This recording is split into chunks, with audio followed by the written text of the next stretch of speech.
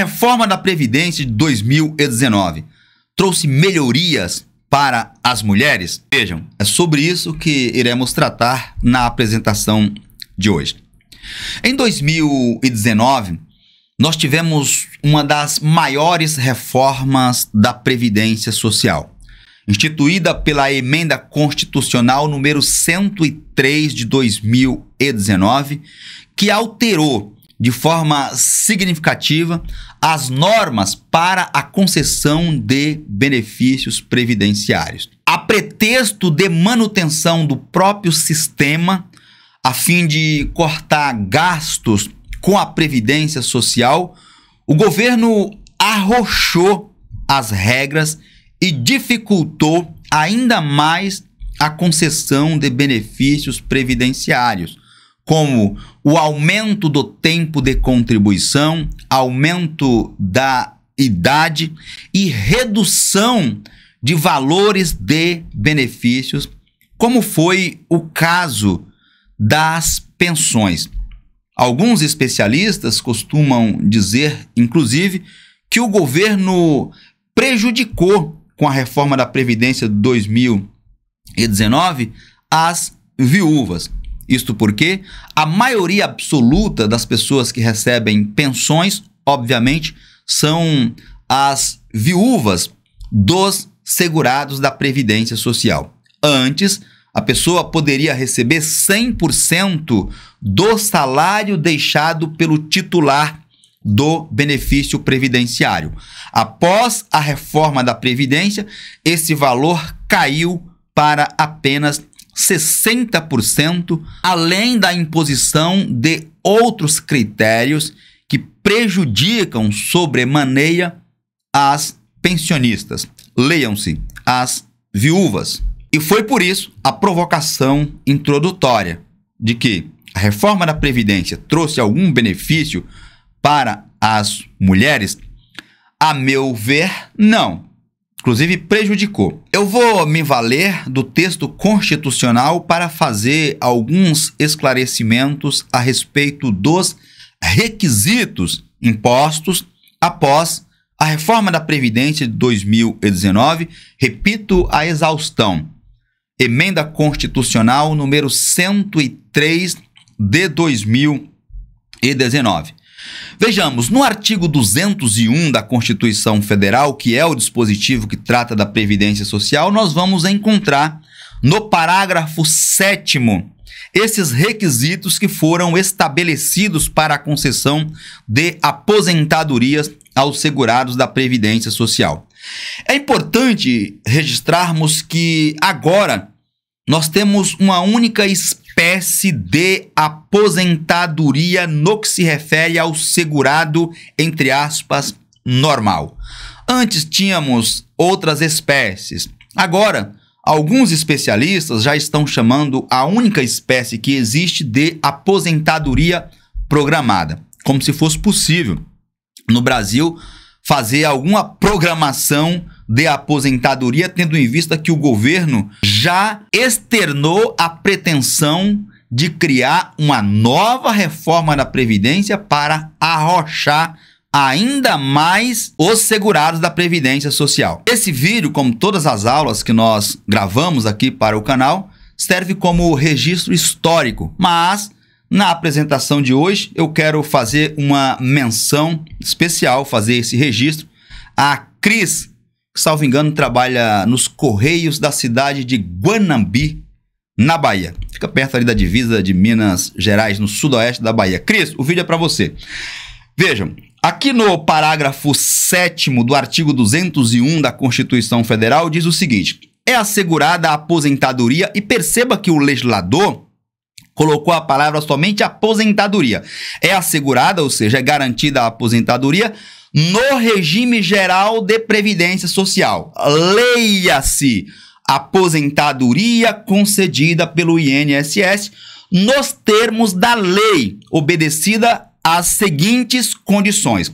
Nos termos da lei, nós já temos essa lei para registro, é a lei 8.213 de 1991, que deve obedecer às condições, quais sejam, a partir de agora, 65 anos de idade, no caso dos homens, e 62 anos de idade, no caso das mulheres.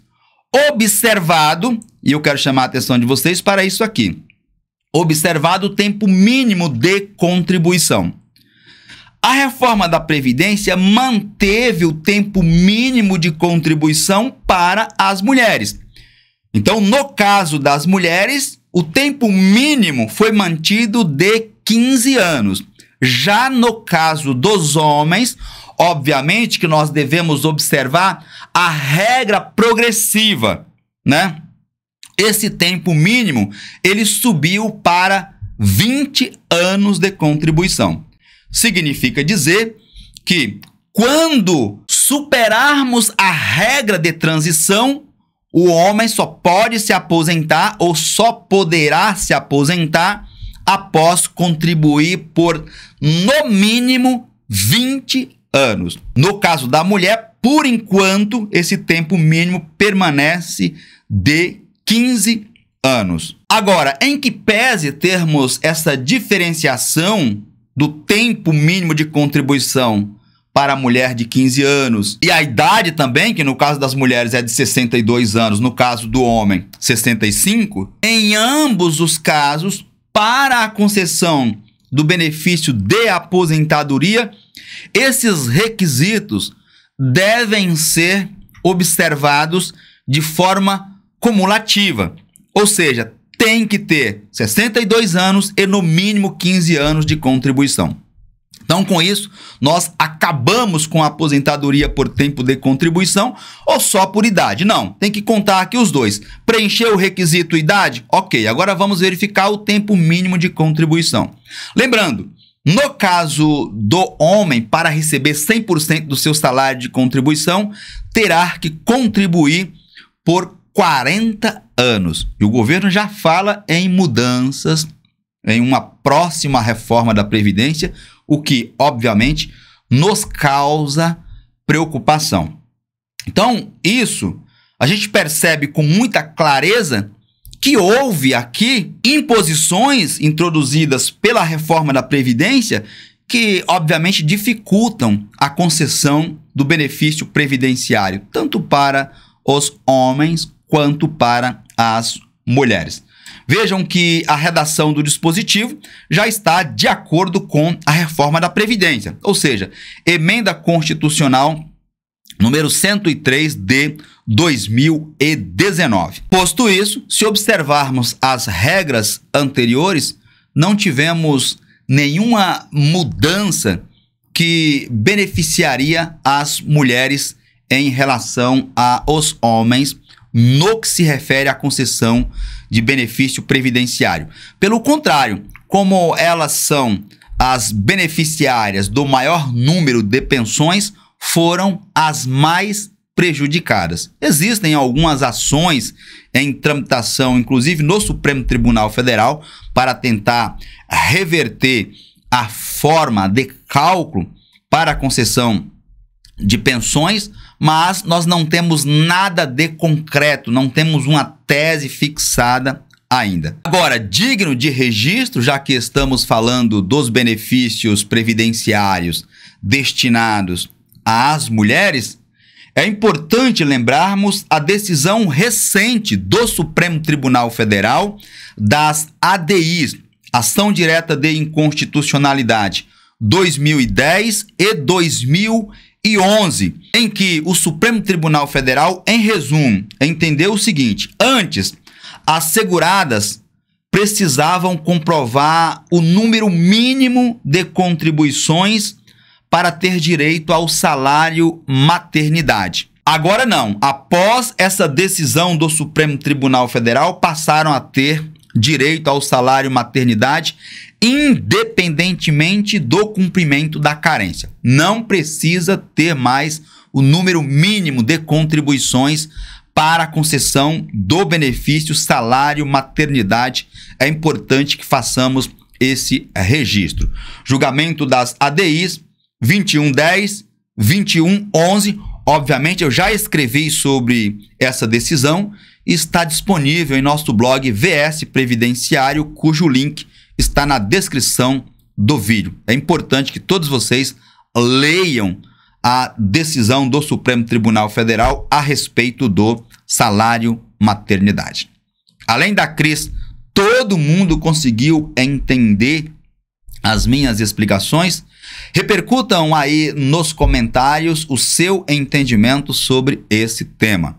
E aproveito a oportunidade para reforçarmos o nosso convite de sempre, para que você inscreva-se no canal, deixa o seu joinha, o seu like, para o YouTube entender que aqui nós tratamos de assuntos importantes para a sociedade. E por fim, compartilhem o vídeo em suas redes sociais e grupos de WhatsApp, a fim de que possamos informar e, por consequência, ajudarmos ao maior número de pessoas possíveis. Um forte abraço e eu te vejo na minha próxima apresentação.